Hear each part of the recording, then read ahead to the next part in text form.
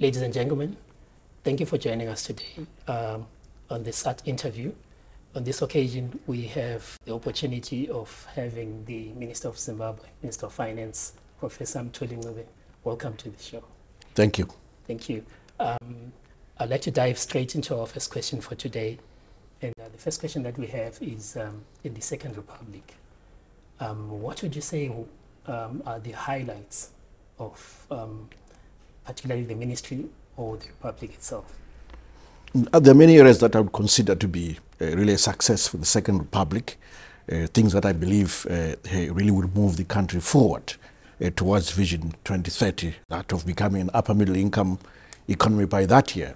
Uh, if you look at, for instance, on the macroeconomic front, we've had very successful fis fiscal consolidation agenda, which has allowed us to manage things within our means, to live within our means in terms of government resources. And in so doing, we've been able to create extra room that has allowed us to invest in infrastructure. So not only have had prudent uh, fiscal management, but as well as created room for investing in, in, in, infrastructure in ways that has never happened before. We're funding roads with our own resources, uh, dams, and all manner of other projects that, that way we've been able to fund as a result of, uh, of those resources, including the acquisition of vaccines, which would not be, been possible if we hadn't conducted that kind of fiscal consolidation. So that's clearly one area of, of success. Then staying with the macro side, again, the introduction of the Zimbabwe dollar is also a very successful project. Of course, it's never easy to stabilize a new currency, and we have been uh, uh, you know, uh, dealing, with, dealing with that. But it's there, it has introduced competitiveness in our industry. Capacity utilization is at its highest level in 30 years, easily. Uh, uh, that, that has worked very well. I won't leave out uh, agriculture. I think that the success of the Pfumvudza Intwasa program uh, and also the success of the commercial program, uh, the results speak for themselves. Last year, we had perhaps the best agricultural season uh, since 1981. This is in, in, in, in, in 40 years. And this year, uh, again, it looks looking like, uh, unless something else happens, uh, for the first time in 20 years, we'll be self-sufficient in wheat, where we expect to produce about 383,000 metric tons of wheat compared to domestic consumption of about 360,000 metric tons. So that's clearly a success area in the agricultural sector, and we were keen to revive uh, the, the, uh, the, horticulture industry and support it uh, so that it goes back to its uh, glory uh, days. Um, if you look at the tourism sector, of course, COVID has been, has been unkind to the sector. Uh, but again, we are having you know, uh, good investments in the sector right across the country. You go to Victoria Falls, I don't know when you were last there, you see that there is some buoyancy there. Uh, also in Victoria Falls, in terms of the financial service sector, we've launched an offshore financial center. We have actually launched a second stock exchange called the Victoria Falls Stock Exchange, which only trades in US dollars, with four counters at, at, at the moment, uh, three in the mining sector and one in the uh, general export sector, although there's a bit of mining in it, which is uh, uh Padenga. So, so I'll say there are many areas of, of, of success. I mean, you look at the whole devolution agenda, it has been a game changer, building schools, uh, clinic, uh, roads at the local level. That devolution agenda, where we allocate 5% of the national budget towards the, the, the 10 provinces, that, that, that has been a, a, a game changer. But, but really, uh, you look at our universities, there have been a, a, massive transformation towards universities that you know, drive innovation, uh, universities that uh, you know, produce knowledge that produces you know, goods and services. Every university uh, uh, owned by the state has some innovation hub. And we're very impressed as a government as the progress uh, made by those universities in producing goods and services. If you think of the area of, of, of uh, COVID response where, and PPP uh, you know, uh, production, universities led the production of masks, of sanitizers in Zimbabwe, which were, were deployed for usage in the, in the public sector. Even these high schools, high schools, fashion and fabric departments were making uh, masks. So, so really, I, am very pleased with what we've achieved in the Second Republic yes, and continue to, to push forward towards that vision of, of being an upper middle income society by year 2030. So we're still on track? We're still on track. Okay, thank you. Um, the way that you answered your, my question, you actually delved into what I was about to ask you in the second question, but I'll still go right ahead and ask um, mm. part of that question which was not answered. Um, looking at your pronouncements since you came in as the Minister of Finance, mm-hmm. you've been speaking of um, reduction of uh, one ton expenditure. And of course, here and there, we've had you announce in places, um, uh, should I call uh, fiscal excess or um, you have been within the budget. And in some cases, I remember reading somewhere that the Treasury was announcing um, um, an excess figure of 6 billion Zimbabwe dollars at some point. I think that's around February of this year. Now, part of the question that you did not answer me is um, we have people that are always clamoring and asking, is it proper to keep those zeros on paper or should we be deploying them to, for instance, reducing, reducing the internal debt or infrastructure that you spoke of, as I said, you've already answered part of the question.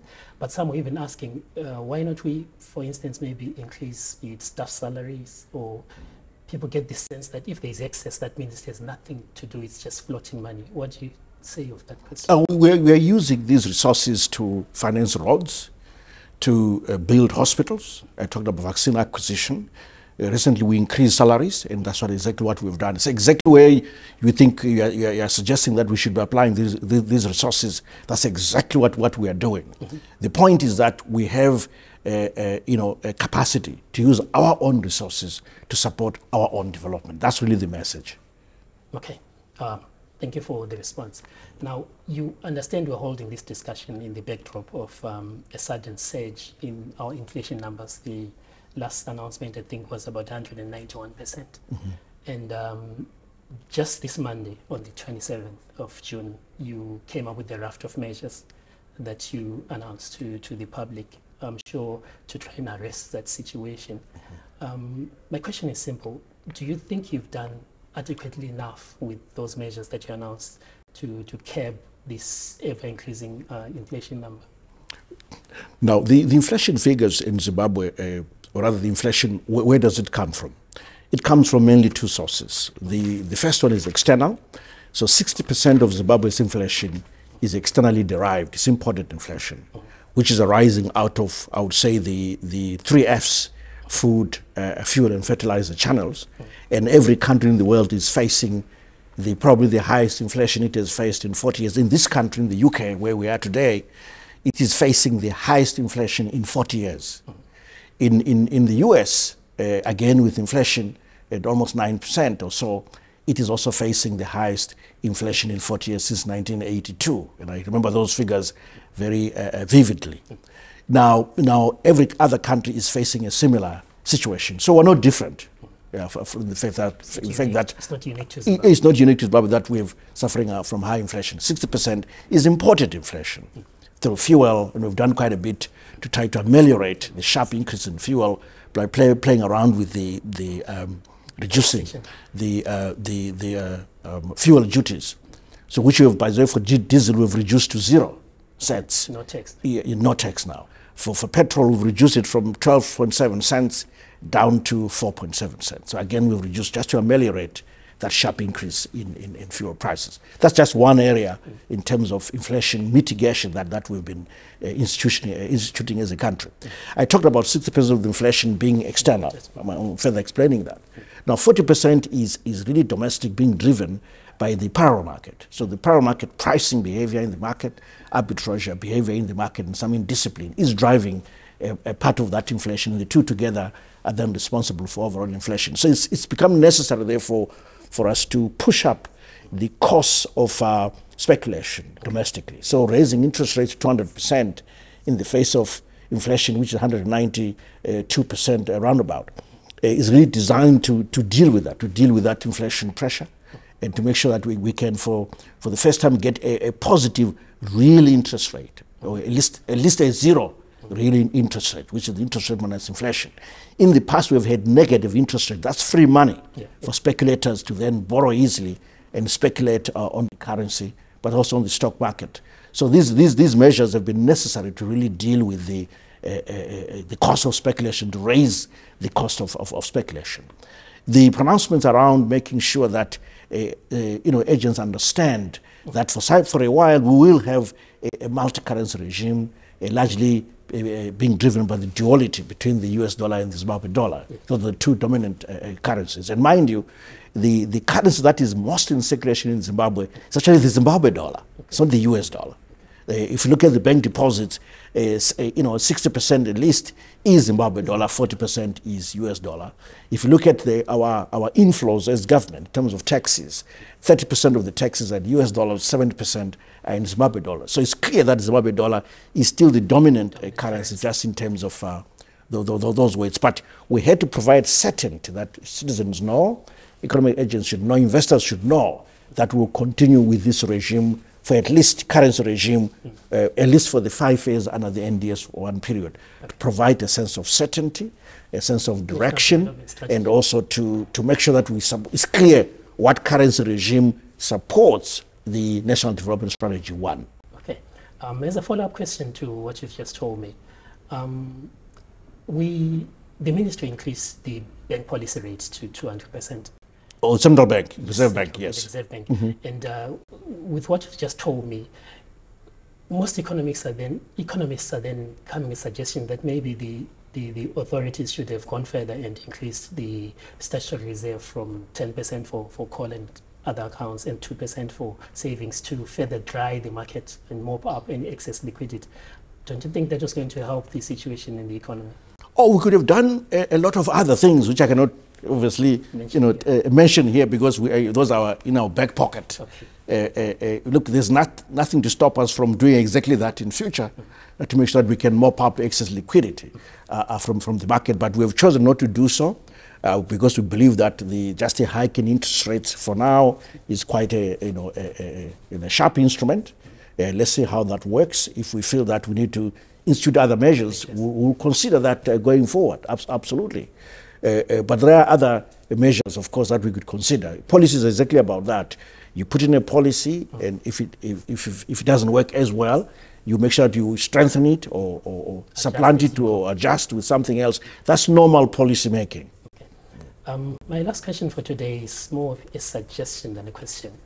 Um, Zimbabwe uses the tax system, the source tax system instead mm -hmm. of uh, the residence tax system. But the way the world is going, people are now working online, earning income from elsewhere, or holding businesses that are well transnational, going beyond national geographic borders. Mm -hmm. Is it not time that we rethink and relook at our tax system and move it away from the source taxing and go take it maybe to the residence taxing, where at least we manage to, to, to widen the net because you get people who are earning they might be in Gweru, Harare, and Masvingo, but they're earning income from here in the UK, mm -hmm. wherever. Mm -hmm. Is, there, is it not a good suggestion to relook at our tax system? Mm. Look, our tax system will continue to evolve. You're, you're, right that this is worth looking into more you know, uh, systematically. Uh, but I think that if we're looking at the diaspora, last year the diaspora brought in about 1.4 billion US dollars in terms of remittances into the economy uh, to support their families, to invest, to do all manner of things. And that is welcome. So, in a way, they are contributing already uh, through the, the economy. It's one of the reasons why we have a current account uh, uh, surplus. The remittances are part of that story. So I feel that they're doing quite a lot.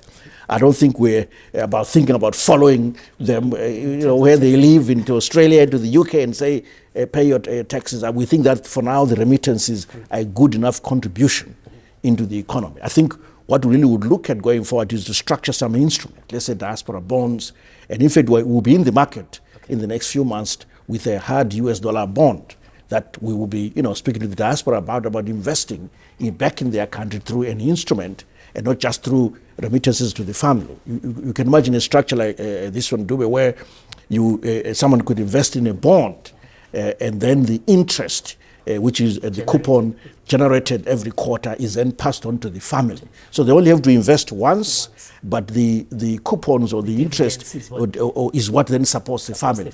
That's a better way to be sending remittances as well back home. So those are some of the things that we're looking at. Uh, we hadn't really uh, gone as far as taxing, wanting to tax the, the diaspora. I think for now they're contributing enough. But it's a thought, and why not going forward? Those are some of the things we could, uh, we could look into. I wish we could have you for beyond the questions that I've, been, I've asked you today, but uh, I'm sure for constraints of your time, we're going to end it here today. Thank you. Thank you very much. Thank you for uh, listening and following us today. Uh, this was a SATS interview. My name is Admaya Maparadza Dube, Dr. Dube. Thank you. Signing out.